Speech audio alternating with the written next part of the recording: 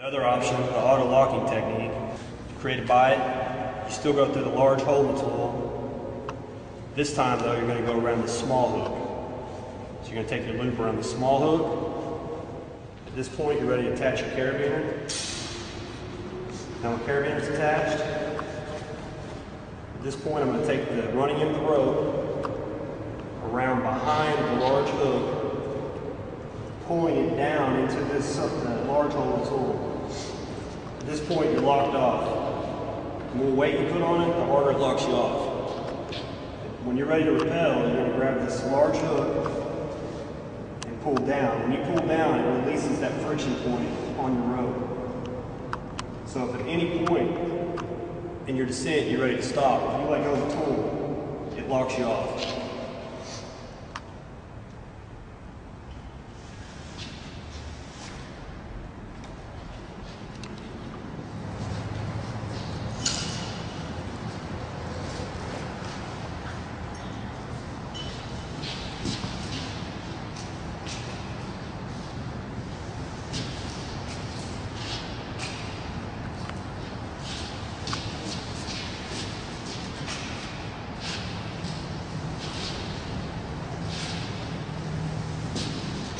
Firefighter now moves towards the window opening. Puts himself into position.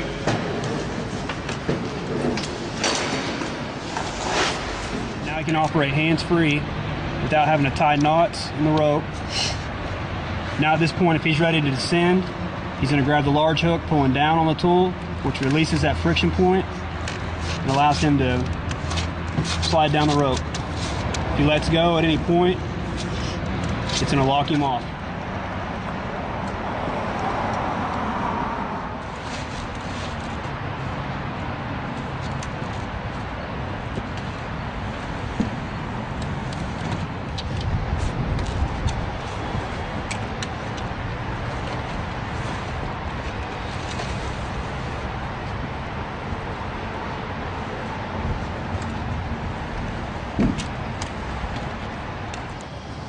Again, this is emergency use only. Obviously, we don't recommend it for normal use, but if you find where your primary means of egress uh, has been blocked, compromised, perhaps you're up here by yourself, quick and easily, this was just a couple minutes, you're outside, you've, you've met an area of safety, you can now call for help or you can deploy yourself all the way down to the ground.